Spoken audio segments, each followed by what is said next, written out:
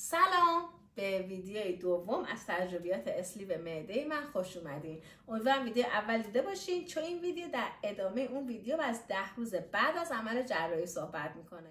قبل از اینکه ویدیو رو ادامه بدین subscribe یادتون نره و اون زنگوله رم بزنین که هر وقت ویدیو جدیدی می‌ذارم شما نفر اولی باشین که ازش مطلع میشین. یه توضیح اول می‌خوام بدم در رابطه با ویدیو قبلی که براتون گذاشتم. تو ویدیو قبل گفتم که این عمل وقتی که شما انجام میدین معدتون از توی نافشون می‌کشن بیرون. ولی این برای همه آدما یک جور نیستش.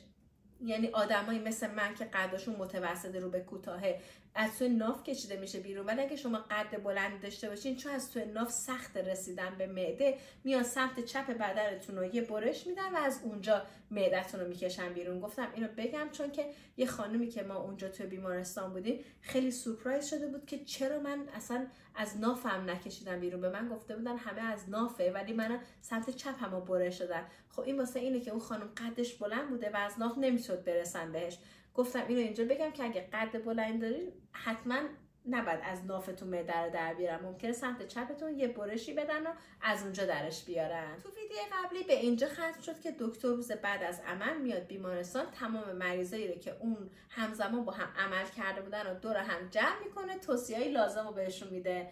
حالا این توصیه ها چی میگن که اولین توصیهشون اینه که قبل از اینکه مرخص بشین حتما دستتون رو روی نافتون اگر مدتون از ناف کشیدن بیرون یا روی سمت چپتون اگر از سمت چپتون مدتون رو کشیدن بیرون بذارین سرفه های محکم بکنین به خاطر اینکه می‌خواین خلط هایی که بعد از بیهوشی یا اون شلنگ بیهوشی که تو گلوتون کردن می‌خواین خلط خارج بشه. که اگه نشه احتمال تب یا تنگ نفس بعدا می‌تونید تو خونه داشته باشین. خود من تلاش کردم نشد خیلی بیرون نیومد ولی خب خدا رو شکر تب تنگ نفس هم نداشتم بعدش. یعنی اینجوری نیست که نگران باشیم وای الان چی میشه من خلتم در نیامد الان اتفاق واسم نیفته نه حتما لزوما این اتفاق نمیافته ولی احتمالش هست که اگرم افتاد بدونین که در اثر اون داروهای بیهوشی که این اتفاق افتاد جای نگرانی نیستش. موضوع دیگه که دکتر مطرح می‌کنه میگه که الان که معده شما عمل شده مثل معده یه نوزاد میمونه. چجوری شما باید معده یه نوزاد تربیت بکنی؟ اول با مایعات به شروع می‌کنی بعد به یه سنی می‌رسه میشه حریره بهش میدی بعد غذاهای جامد بهش میدی. الان دقیقا معده ما همون جوریه این ده روز اول مثل یه نوزاد تازه به دنیا اومده میمونه که فقط مایعات می‌تونی بهش بدی. حالا غذاهای ما قبل از عمل سه وعده غذای اصلی داشتیم بعد عمل هم سه وعده غذای اصلی داریم. صبحانه نهار شام. حالا تو واسه وعده های صبحانه شما می‌تونین از یه لیوان شیر با اثر که حالا این لیوان شیر که میگم فنجون شیره در اصل چون شما هر وعده غذایی که می‌خواین بخوری سه جرعه یعنی 60 سیسی که می‌خوری معده پر شده. دیگه حالا اون معده اون پایینش یه کش داره این کشه باید شل کنه تا این مایعات تخلیه بشه تا شما دوباره بتونید بهش مایع اضافه کنید بهترین حالت اینه که شما وقتی که سه جرعه یا همون 60 سیسی رو می‌خورین پاشین راه برین یکم. بعد می‌تونین اگه خواستین یه جرعه دیگه دو جرعه دیگه سه جرعه دیگه به اضافه کنین بهش. ولی یه فنجون سرخالی شیر و اصل به عنوان وعده صبحانهتون رو می‌تونید بخورین که هر سه جرعه رو باید یکم را برین که تخلیه بکنه تا بتونین جرعه های بعدیتون رو بخورین. برای وعده نهار یا وعده شام پیشنهاد می‌کنن که از آب ماهیچه، آب گوشت، آب مرغ استفاده بکنید یا حتی آب کله پاچه یا سیرابی. چون آب سیرابی که پر از ویتامین B آب کله پاچه که خیلی خاصیت داره. نمیگم حالا کله پاچه همش بخورین چون خب کالریش هم بالاست. ولی تو این ده روز دو بار یا سه بار آب کله پاچه به عنوان یه وعده غذایی بخورین خیلی هم بهتون اتفاقا میچسبه. من خودم آب کله پاچه و سیرابی تو این دوره که این ده روز اولم واقعا اصلا انگار یه غذایی مثل چلو کباب کوبیده به من داده یعنی اینجوری به من چسبید. خیلی خیلی حس خوبی بودش. حالا وعده نهار شامتونم که اینجوری شد. حالا مثلا برای ماهیچهتون می‌تونید ماهیچه رو با یه سری سبزیجات مثل کرفس هویج سیر پیاز اینا رو بزنید توی شیشه بزنید توی آب توی قابلمه بزنید کم کم بجوشه و اینا خودش اصاره خودش رو پس میده تو شیشه. قشنگ آب دیگه یعنی مملو پروتئین دیگه اون تو که اینو بعد وقتی که تم درست میشه در میارین از صافی رد می‌کنین. صاف یعنی مایعات که میگم از در حدی که از صافی چایی هم رد بشه دیگه کافیه. شما از صافی چای ردش می‌کنید و اون رو می‌تونید به عنوان وعده نهار یا شامتون استفاده بکنید به جز صبونه و نهار و شام شما میان وعده های هم هست که می‌تونید استفاده بکنید این میان وعده ها می‌تونه شامل آب میوه باشه. آب میوهتون حتما باید طبیعی باشه ترش نباشه و همون 60 سی حالا یه کمتر یه کم هم رقیقش کنید بهش آب اضافه کنید که خیلی قلیز نباشه. بازم آب میوهتون باید از صافی چای رد شده باشه. میان بعدی دیگه تو می‌تونه چایی باشه که حتما کمرنگ و ولرم باشه. حالا چرا کمرنگ؟ به خاطر اینکه چای پررنگ باعث میشه که معده اسید ترشح کنه و اون باعث سوزش میشه که اصلا حس خوبی نیست سوزش معده زمانی که عمل کردید این چایتون یا شیر صبحتون رو شما می‌تونید توش یکم اصل بریزین که خب یکم شیرین تر میشه یه حس انرژی مضاعفی بهتون میده که حس خیلی خوبیه. یا می‌تونید تو چایتون نبات یکم حل کنین بازم یکم شیرین یا همون تر هر که خودتونه. اینا جز چیزایی که می‌تونید استفاده بکنید اگر بخواید وقتی که میرین خونه اون مصرف آبتون یعنی انگار آب فکر کنید آب به حیاتتون بستگی داره. انقدر آب مهمه. حالا بسته به قد و وزن یا اضافه وزنتون میزان آبتون می‌تونه بین دو لیتر تا دو نیم لیتر باشه. برای من دو لیتر بودش. که این دو لیتر رو حتما باید بتونم تو طول روز همینطور که راه می از همه یه بطری آب دستتون باشه. من مثلا یه بطری آب یه لیتری دستم بود. هی همینطور راه می‌رفتم امروز خواهم میخوردم. راه می‌رفتم میخوردم. چون راه رفتن تحرک داشتن خیلی نقش مهمی داره که بتونید شما وزنتون رو راحت تر کم بکنید و چربیایی هم بعد همزمان با راه رفتنه که آب می‌خوری کمک به چربی سوزی خیلی زیادی داره. حالا این آب میگم تو طول روز بخورین چون که یک دفعه که نمی‌تونین آب بخورین. جرعه جرعه میشه. برای همین با راه رفتن زودتر این تخلیه انجام میشه. می‌تونین جرعه های بعدی رو بخورین. و اگه یه موقع دیدین که ادرارتون یا کم شده یا خیلی قلیز شده رنگش خیلی پررنگ شده این یه زنگ خطره. یعنی کلیهاتون داره بهش فشار میاد. این یعنی که دارین آب کم می‌خورین. پس آب خیلی نقش مهمی داره و یادتون نره حتما آبتون رو دقیق اون دو لیتر حتی اگه بیشترم شد اوکیه. ولی دو لیترتون رو حتما اولش بین حالا دو تا دو نیم لیترتون رو حتما آبتون رو مصرف بکنین تو طول روز. نکته بعدی که خیلی مهمه تحرک داشتنه. چرا میگم تحرک؟ به خاطر که به هر حال شما با این عملی که انجام دادین وزن رو کم می‌کنی. ولی این وزن کم میشه بهتره که ترجیح بدین چربیتون کم شه یا چربی و عضله با هم کم شه. همونطور که می‌دونی عضله سازی اصلا کار راحتی نیست کار زمان بریه و شما اونی که داری رو که دیگه نمی‌خواین از دست بدین. برای همین شما تحرکتون رو زیاد می‌کنی اون پیاده رویه زیاد باشه. هر یک ساعت ده دقیقه رو باز هم راه میرید این توصیه دکتره. ولی من خودم شخصا تو این ده روز یک ساعت بیشتر از ده دقیقه راه می‌رفتم. سعی می‌کردم بین یه رو تا 20 دقیقه حتما راه برم. یکی از چیزهای دیگه که تحرک و راه رفتن کمک می‌کنه بهتون اینه که جلوگیری از آمبولی می‌کنه. حالا آمبولی چی هستش؟ خونی که از نوک انگشتتون میاد میره تو ساق پاتون و از اونجا میره به سمت بالا تو بدنتون به هر دلیلی. راکت بشه لخته بشه یا سرعتش کم بشه رو میگن آمبولی. برای جلوگیری از این آمبولی یکی از چیزایی که دکتر می‌کنه همین تحرک داشتن است. به جز تحرک داشتن دکتر کار دیگه که می‌کنن بهتون یه دونه جراب واریس میدن. این جراب واریستون ده روز اول بازم یکی دیگه از اون نکات حیاتیه واسهتون. این باید مرتب پاتون باشه فقط زمانی که میرین همون باید درش بیارین. یا اینکه وقتی که مثلا نشستین پاتون بالاست پاتون آویزون نیست. یا چون فشارش خیلی زیاده می‌تونید مثلا اون موقع این در بیارین یه استراحتی به پاتون بدین ولی دوباره پاتون کنین. این خیلی مهمه که این ده روز اول مرتب این جابه واریس تو پاتون باشه. کار دیگه که واسه آمبولی می‌کنن که یه سری آمپولا هستش که دو تاشو قبلا تو بیمارستان بهتون تو دو روزی که بیمارستان هستین می‌زنن. سه تایی دیگه هم بهتون میدن که خودتون تو خونه بزنین. زدنش هم خیلی راحته تو بیمارستان بهتون یاد میدن. سه تا انگشت از نافتون فاصله می‌ذارین. هر هر کدوم توی یه جهت مختلف ناف. چهار جهت داره. بالا پایین راست چپ.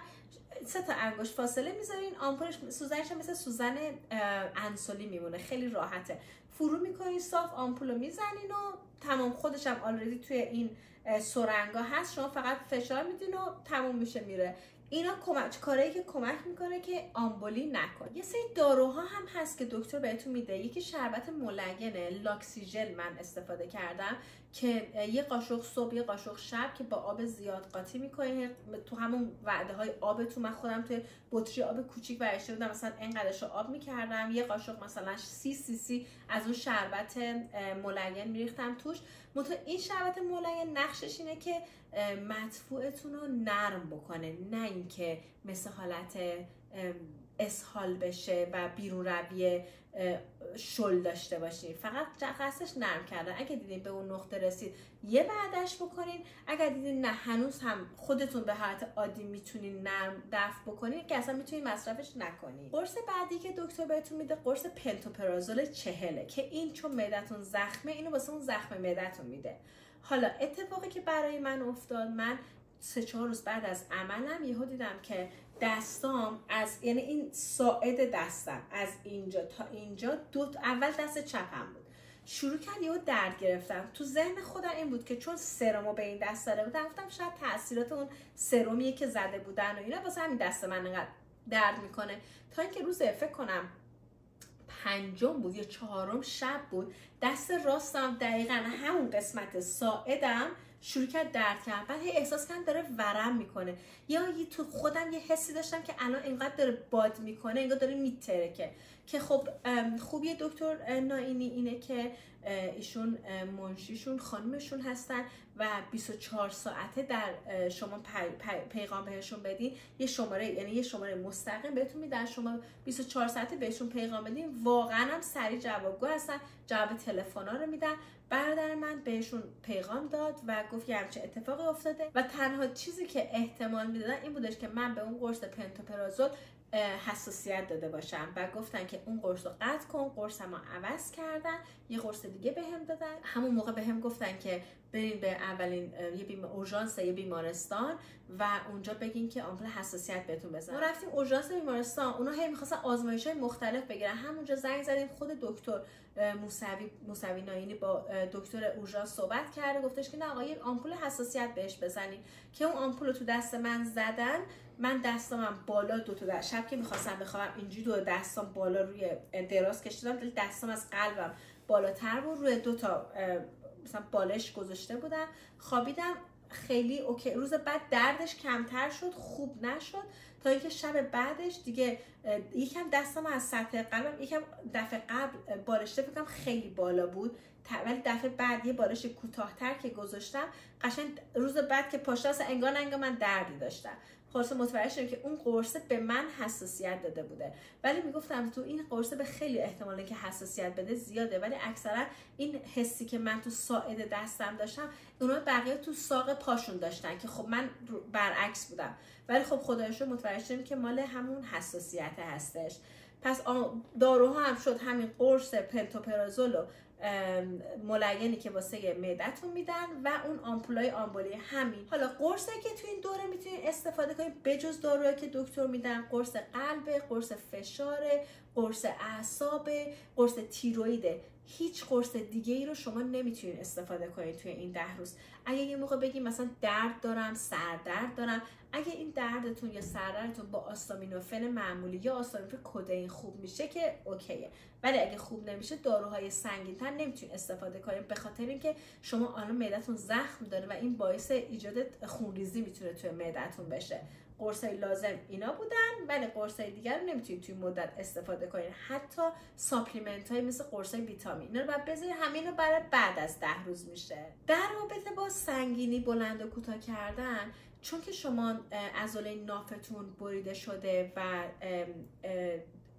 بخیه خورده خب از بخیه بیرونی که تو همون ده روز شما میری بخیت رو می‌کشی و خوب میشه و تموم میشه.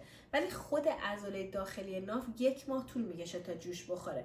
برای همین سه چهار کیلو بیشتر توصیه نمی‌کنن که بلند و کوتاه بکنی. ولی اگر مجبورین حالا به خاطر شرط کاریتون یا مثلا مادرین بچه دارین نمی‌تونین بلند و کوتاه نکنی یه سری گن ها هستش که دور شکم بهتون میدن. میبندی که بلند و کوتاه کردن رو هم براتون راحت می‌کنه. یکی دیگه از سواله که مطرح میشه که اینی که آیا زمانی که این عمل رو انجام میدم آیا می‌تونم به راست و چپ به سمت پهلو بخوابم؟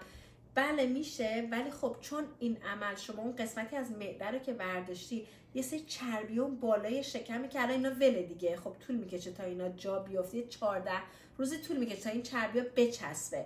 این شما وقتی می‌خوای به سمت چپ یا راست به پهلو بشین شما خیلی اولا حرکت رو خیلی آروم باید باشه خیلی ناگهانی نباید باشه چون اینا خب باعث میشه که یهو ولش خونریزی ایجاد اون چربی یا حرکت ناگهانی می‌تونه ولش کنه یکم بخیه ها رو جابجا کنه یا خونریزی ایجاد بکنه حرکت آروم به چپ و راست می‌تونید داشته باشین. ولی یکی از چیزایی که خیلی حس عجیبی بودش این بودش که زمانی که شما چپ و راست میشی این چون چربی وله هی تو دلت احساس کنی اینجوری تکون داره می‌خوره. یعنی با شما یه چیز دیگه هم داره اینجوری میچرخه. حس عجیبیه. ولی خب می‌تونین به سمت چپ و راست هم آروم بخوابیم ولی من خودم یه حس عجیبی داشتم. ترجیح دادم همونجوری صاف بخوابم تا اینکه به چپ و راست به پهلو بخوابم. اصلا حس پهلو خوابیدنم عجیب بود. اصلا دوست که خودم عادت دارم به پهلو بخوابم ولی خیلی حس خوبی نداشتم. برای همین همچوری صاف ده روز اول خوابیدم. حالا 48 ساعت بعد از عمل جراحی شما می‌تونید برین همون زیر دوش آب قرار می‌گیرین. کم کم این چسبا رو که یکم با آب خیس می‌کنه اینجوری برش میدارین از رو جای بخیه هاتون.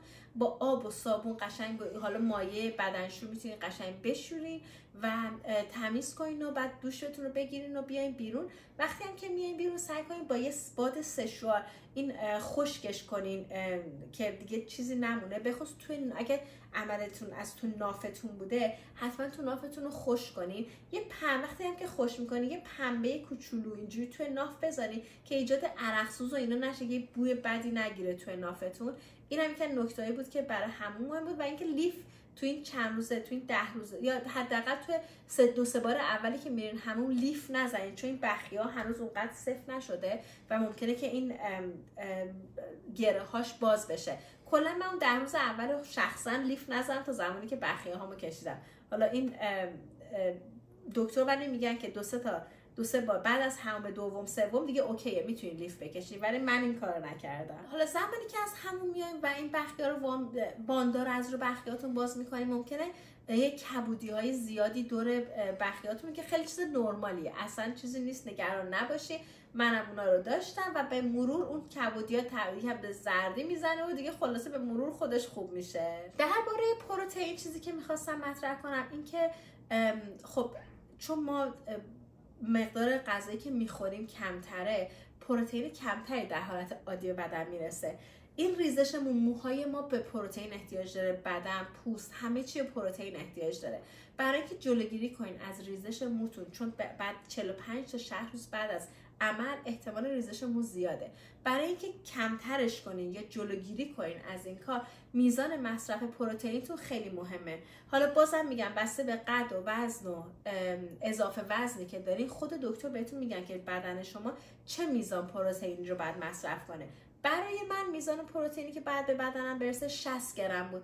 حالا این 60 گرم رو برای اینکه بتونید بشمرین خیلی راحت تر واسه من اینجوری بود. پیشنهادهای خود دکترم هستش که شرکت کاله یه شیری زده. حالا من عکسش رو براتون اینجا می‌ذارم. یه شیری زده به اسم پرومیلک که این خودش توی هر یه پاکتش که سایزش که مثلا سایزش انقدر چهل گرم پروتئین داره که خب خیلی خوبه. ولی خب واسه ده روز اول یکم قلیزه یکم با آب مثلا هی تو فنجون بریزین با آب رقیقش کنین اونو بخورین. یکی دیگه از چیزایی که می‌تونید استفاده کنین ماست ایسلندی یا یونانی یا کاله بازی ماستی زده به اسم پروماست که اینا خودش مطمئن باشید پروبایوتیک نه پروماسته که اینم باز پروتئین بالایی داره. در کنار اون دوباره کاله پودرای وی زده که اونا هم مطمئن باشید فقط واسه عضل سازی نباشه. این وی ها پروتئین بسیار پودرای وی پروتئین بسیار بالایی داره که اونم می‌تونید های مختلف داره تمری که خودتون دوست دارید بگیریم با آب بازم رقیق میشه و اینو باز می‌تونید بنوشید مطمئن باشین که 60 گرم پروتئین به بدنتون برسه. یه نکته دیگه پروتئین دیگه یکم که می‌تونید مثلا طبیعی برسونید کشک کشک خشک و وزن کنین. هر چقدر وزنش هست نصف اون وزن میزان پروتئینی که اون کش تو خودش داره. اصلا می‌تونید همینجوری تو جیبتون داشته باشین و چون نمک هم داره یکم که مثلا یا یکم چیز دارین. دیدی مثلا سرگیجه ای داری. حالا من هیچ کاری نداشتم ولی احتمال که باشه هستش. استعمالش صفر نیستش. و می‌تونید از اون کشکا رو بزنید دهنتون مثل آب نبات میکش بزن قشنگ هم پروتئین به بدنتون رسوندی همون نمکی که داره حالتون رو خیلی خوب می‌کنه. اینا همه توصیه‌ای بود که دکتر کرد و من در بین اون توصیه ها تجربیات خودم کارهایی که خودم کردم بهتون گفتم. خلاصه توی این ده روز من تو خونه هی حتی مثلا حتی اگه بیرونم نمی‌تونستم برم چون هوای تهران یکم آلوده بودش من توی خونه همینطور قدم هامو می‌زدم. میشمردم ساعت نگاه می‌کردم دقیق مطمئن. من خودم هر ساعت سعی می‌کردم بین یک رو تا 20 دقیقه حداقل راه برم. یه موقع هم که دیگه حوصلم سر می‌رفت مثلا می‌رفتیم توی شاپینگ مالا توی مال مثلا می‌رفتیم شروع می‌کردیم راه رفتن و اینا که اون میزان ساعتی که می‌خوام حرکت داشته باشم تحرک داشته باشم پر کنه. خلاصه اینکه تحرک خیلی مهم بود و من بعد از ده روز حالا ممکنه ده روز به شما پنجشنبه جمعه تعطیلات بخوره. به روز نهم من رفتم دکتر و اون روز بخیه ها رو کشیدن و توی مطبشون توضیحات قد و وزنت رو می‌کشن.